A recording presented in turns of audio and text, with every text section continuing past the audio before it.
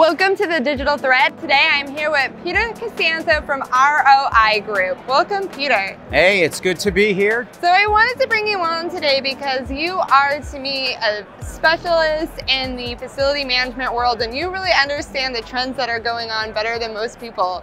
Uh, can you tell me what kind of trends you're seeing right now in the facility management world? It's um, ironically uh, a very exciting time. What's very interesting is as the concept of a smart buildings coming along, facilities are becoming more and more important. And as Autodesk, you know that there's all sorts of data that's gathered during the design and construction phase, which could help people in facilities. There's all sorts of movements on the other end. So if you look at the top class of facility management systems, the acronym's called IWMS or CPIP, all of the major players have been bought by a major computing power or a major corporation. Well, can you go into a little bit more depth on the IoT and the sensors for me? I know you've brought a few, and I think what's going on right now is I've talked to folks and they don't really know what sensors brands are out there. They don't know what a sensor looks like, and they don't really know what sensors do. Let's dive into that. So the, the good thing about sensors is they're all over the place. A ring doorbell is a sensor. It's not kind of thought of that way, but it's a, it's a IoT device that does connect to a network. And one of the things that's driving facilities uh, and a problem with facilities is generally you don't know what's going on until something broke. From a perspective, if we could put a check engine light on different pieces of equipment to let us know when something was going awry before it went awry, it would help us be a lot more efficient. Uh, cutting edge right now, and I'll do this for comparison. This is the smallest commercial sensor on the market. And to give you an idea how small it is, this is a Scrabble tile. It's the exact size. You look here, it's half the format. They're discreet. They really are. And as you talk about sensors, one of the things that I like talking about this, um, this has a 10 to 15 year battery life. Um, and if you look at the size and form factor, there's not a lot of material. One of the things that has to happen for sensors to take mass adoption is the construction cost needs to come down and the battery life needs to come up.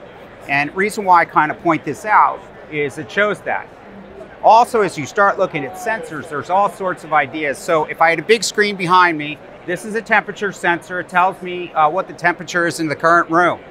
There are all sorts of different things you can do though when you start creating algorithms. So one of the things that can be done with this sensor, if you take it and you put it in a little holder here, do some conductive tape, and in Europe, tracking Legionella in pipes is a big deal. Uh, I don't have a bar uh, twisty tie, so I'm not going to connect this, but the temperature sensor will pick up the water moving in the pipe, and based on algorithms, it'll let you know when it needs to be flushed. Pretty cool concept. The people who made the temperature sensor had no idea. As I talk about more use cases as I do this, and you start to think about these are going to be everywhere, and this is just one sensor, same sensors being used by occupancy. So if I stuck one of these right here underneath your desk, uh, the air temperature would rise and the sensor would know what's going on. So um, we use some of these sensors on our pilot with the Charles Wright Museum. The Charles Wright Museum is an African history museum in Detroit. Um, what they're doing is really interesting with your help. Uh, they're tracking how occupants are going through their actual um, exhibits.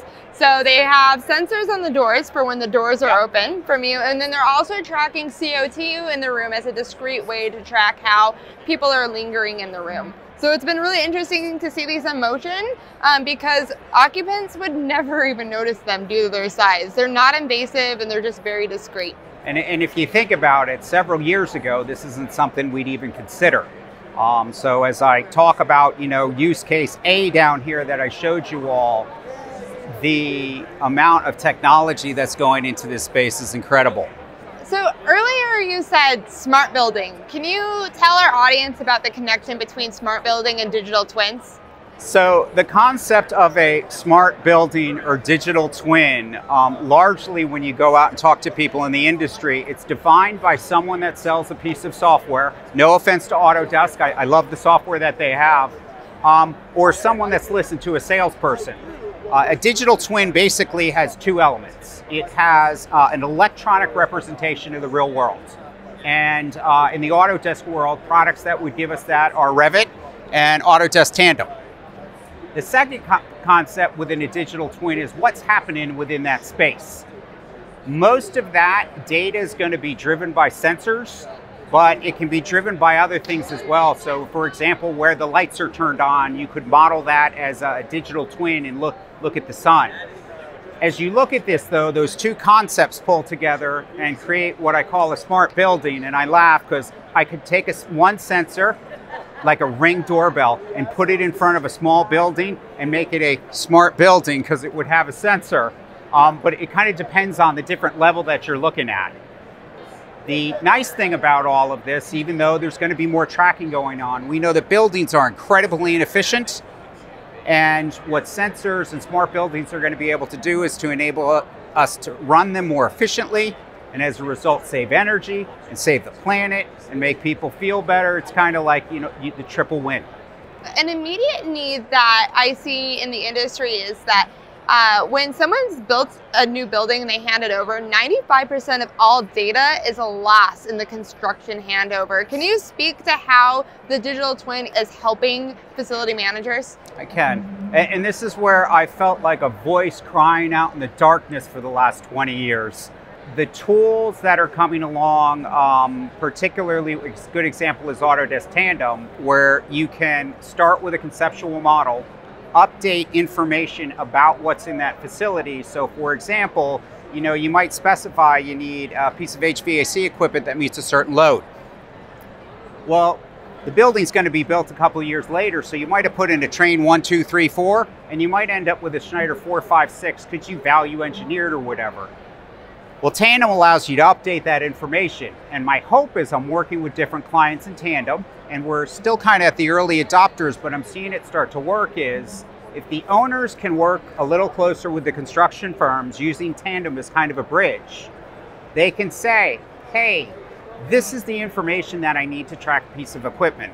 Uh, and I'd like to tell you all out there in the AEC world, it's rocket science, but the facility manager usually cares about something called the unique identifier, make, model, type.